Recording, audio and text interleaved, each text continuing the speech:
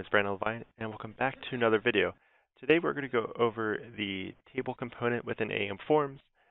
Um, so let's go ahead and get started. So I'm going to go ahead and drag over the table component. Uh, there it is. So once I drag it over, we can see we have a very basic table layout um, that contains two headers and two rows. So if we wanted to add another column um, in this table, I can simply click on this header, click on these uh, dots, and then we'll click on Add Column, and then we can also delete column from this uh, method as well. So let's go ahead and add a column. And so now we have three columns, and um, you know we can edit the each column name by simply clicking on the pencil icon, and we'll make this uh, cost, or maybe total cost. So this can be a kind of a purchase order uh, chart where it will lay out the product name, uh, the amount uh, they want to purchase, and then the cost per uh, product. So let's go ahead and add uh, quantity, and let's go ahead and give this price, and I'm going to need to add one more column. So it might be a little tricky since I need to add it to the left and should add to the right. Um, but I can go back to my content tree and just reorganize uh, these headers. I'm dragging this above it. And now that has switched. And let's go ahead and just call this product name. All right. So now another thing we have to do, um, especially if we're going to need some calculations going on within our table, is uh, number boxes instead of these text boxes. And it does matter um, when the math is going to be occurring on the back end. So in order to uh, just replace these two, or actually three boxes, I can click on the text box, and then we'll go down to replace, and then I'll just type in numeric box.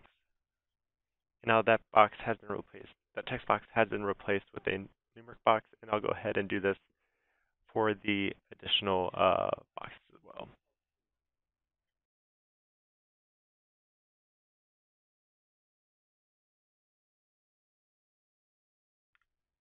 All right, so now let's go ahead and add in the dynamic functionality for this table to where the end user could, uh, you know, click a button and it will add additional rows.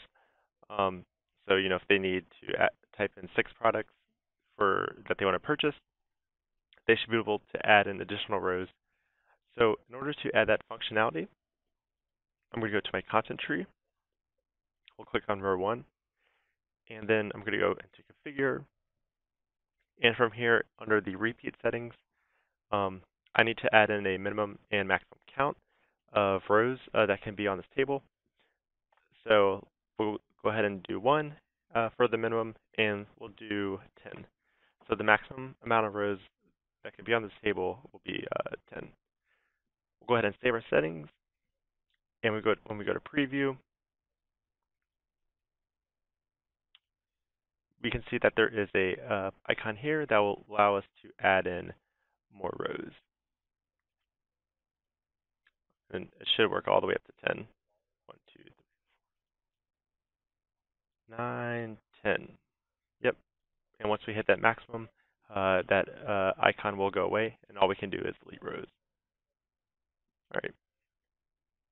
So that's so that looks pretty good. So now let's go ahead and add in the uh, back-end calculation part uh, to this table.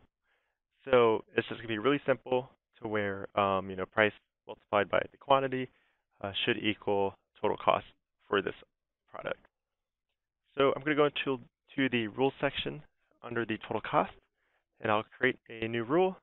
And this rule is just going to uh, set the value of this uh, field to a uh, mathematical expression, which will then be, I need to look. I did not go through and uh, change all these names, so they're all the same. So I can just simply drag and drop over.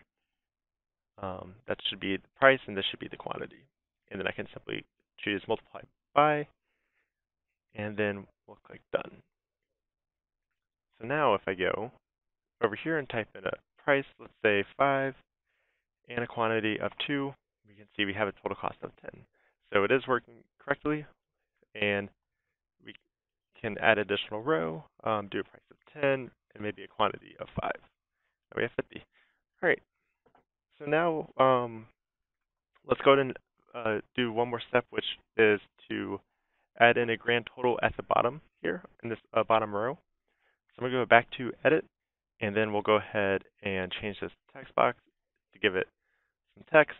Uh, let's say total cost or grand total. How about that?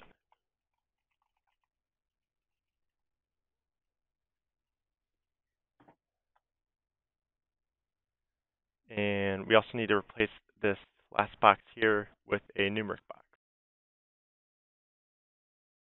So in order to add in the calculations here for the total cost of this uh, column, I'm going to go back into the rules, and we actually have to use a um, mathematical expression. Um, so I'm still going to use the set value of text box, but this will now be a uh, function output. We're going to choose sum, and then all we need to do is uh, select the row, and then which panel or which uh, box we want to have it uh, calculate the sum for us for. So we need to add in row 1. And then this last text box should be that total cost of that row. And then I click Done and close out. And now we'll go to Preview. And hopefully everything should be working. So I can type out price of 5, quantity of 10. We have the total cost of 50, and that 50 is also included here. So now let's go ahead and uh, do an additional uh, row. So let's do 3 and 30. All right, so it looks like all the math is adding up. And of course, I get to add a product name. So maybe uh, shirts. And let's go ahead and do shoes. All right, so you know that's looking pretty good. Um, one thing I wanted to point out is that um, these boxes are still editable. Um, and I think just to make sure that you know someone can't come in here and edit these boxes, um, we can go ahead and just disable them to where um, you know the calculations will still occur within that box, but they cannot not be physically uh, changed. So I can just go into the configuration settings and then uh, click on disable object. And now this box will not be able to be uh, changed by actual uh, end user. It can only be changed by that uh, rule we have set up in the background, which is to calculate the total cost of this field. Here as well. So now I want to preview. I add in a price and a quantity. I can no longer edit this box. I'm trying to type in a digit right now, and it's not letting me. And same story with this uh, grand total box here as well.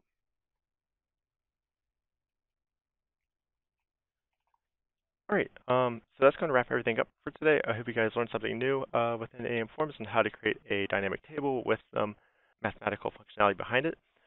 I hope everybody has a nice, nice day. Thank you. Bye-bye.